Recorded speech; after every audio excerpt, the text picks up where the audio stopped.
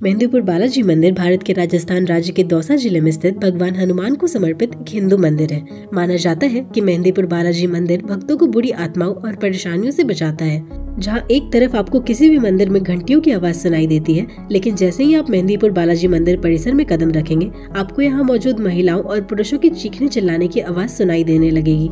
यहाँ पीड़ितों की चीखें आपको डरा सकती हैं। इस मंदिर में मुख्य रूप से हनुमान जी की पूजा की जाती है और इसके अलावा प्रेत राज और भैरव की भी पूजा की जाती है भक्तों का मानना है कि इस मंदिर में बालाजी की शक्ति है जो भूत प्रेत के चंगुल में फंसे लोगों को ठीक करती है। अगर आप लौकिक शक्तियों या भूतों पर विश्वास नहीं करते हैं तो इस मंदिर में आने के बाद आप इन सब बातों पर विश्वास करने लगेंगे।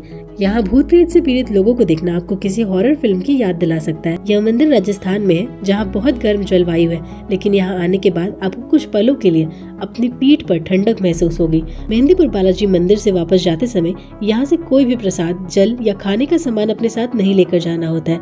और यहाँ मंदिर में किसी भी अनजान व्यक्ति से बात करने से बचें, क्योंकि किसी पीड़ित व्यक्ति को छूने से आप भी भूत प्रेत के प्रभाव में हो सकते हैं। इसके अलावा, आप जब मंदिर से बाहर निकले तो कभी भी पीछे मुड़कर ना देखें। ऐसे ही और इन्फॉर्मेटिव वीडियोस के लिए सब्सक्राइब करना ना भूलें।